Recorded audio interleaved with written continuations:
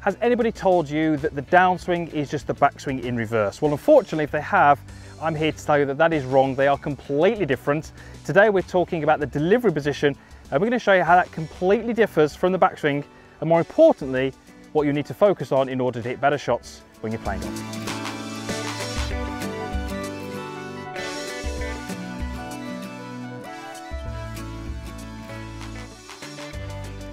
So once again, I am here at the Forest of Arden, out on the Arden course, talking about the delivery position in the downswing, how it's a little bit different to the backswing, and more importantly, some checkpoints that you can use if you're videoing your golf swing during practice. So in today's lesson, you are going to learn about where and how the club face needs to be positioned in order to give you the best results. You're also going to learn how the trail arm needs to be positioned in order to help you with strike and distance. And you're also going to learn a little bit about where the golf club shaft should be relative to your target line to help you hit the ball flight that you desire. Just before we get into that, if you're new here, you're not a subscriber, I would absolutely love you to do that. There is a clickable link down below or one at the end of the video. It is absolutely free. You'll just get notified each time I upload a video and it means you won't miss any of the content. So let's get straight into it. Delivery position, what is it? Well, it is basically the position in the downswing when the golf club reaches around about level with the ground. So it's here. And as you can imagine, from there to the ball is an incredibly short space of time.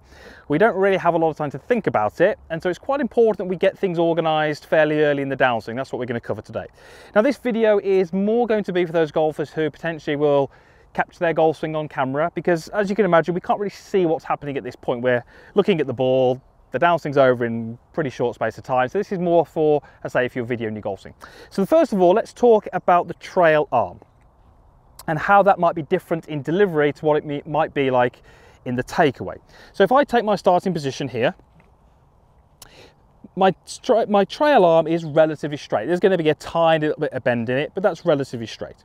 Now, if I was to try and move into my delivery position, I'm going to add some wrist set I'm going to add some forearm rotation to the right.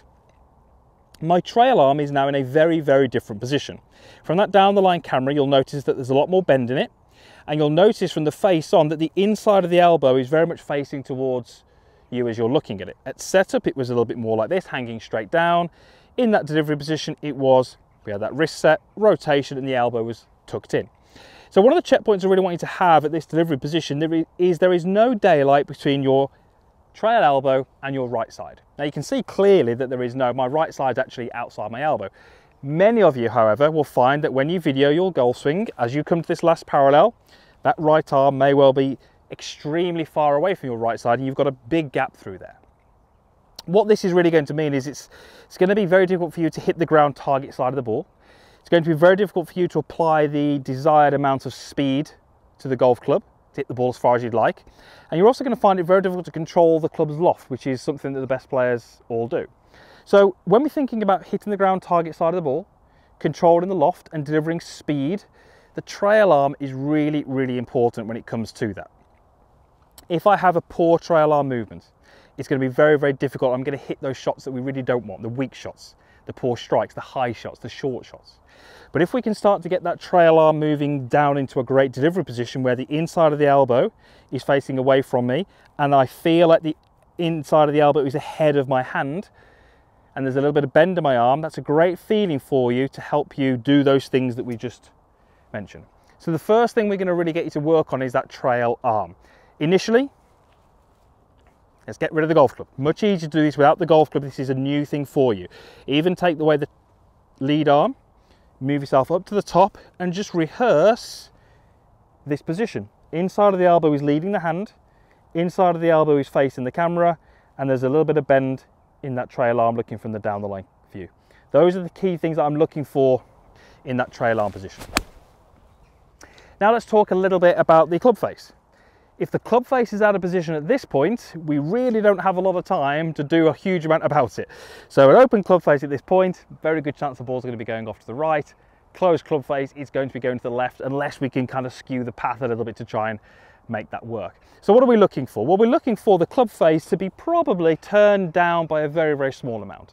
So this would be an absolutely vertical club face. We're looking for it to be turned down by a small amount.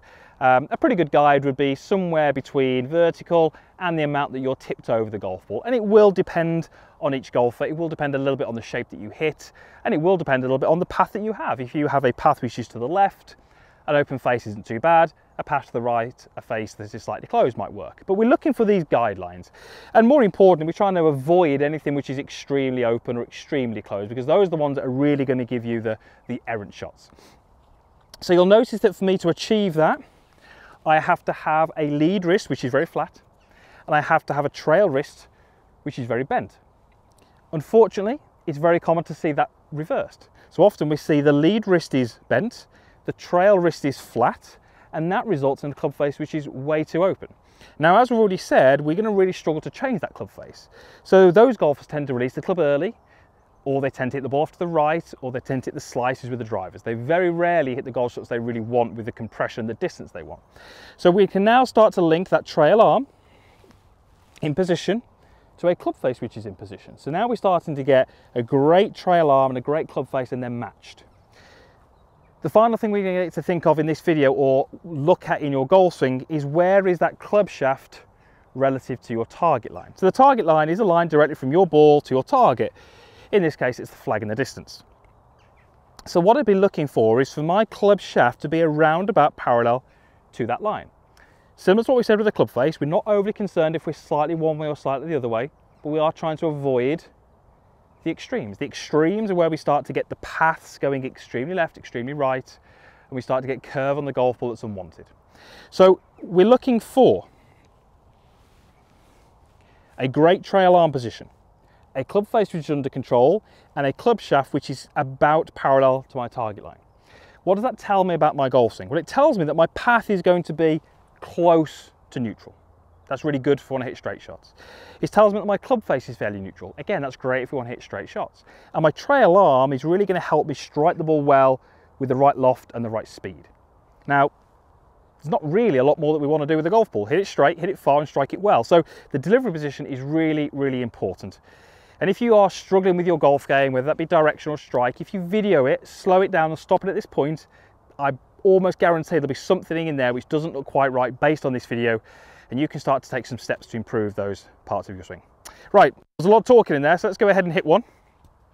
I've got a five iron into this 14th hole. I've already hit one just, and I don't think this is enough club, so uh, I'm not going to try and hit it hard. I'm just going to try and hit a normal shot and accept that it's going to land a little short.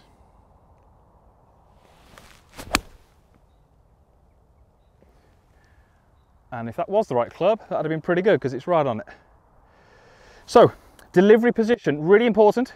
If you can work on it, improve it. It is hard because there's a lot of speed at that part of the golf swing, but it can give you some really, really good results next time you play. Thank you very much for watching. Really appreciate it. Usual stuff is down below, comments box, like button, all that kind of stuff. And that subscribe link is over here. Give that a click. Would love to you to be part of my channel and we can help you play some better golf this year. Thanks for watching.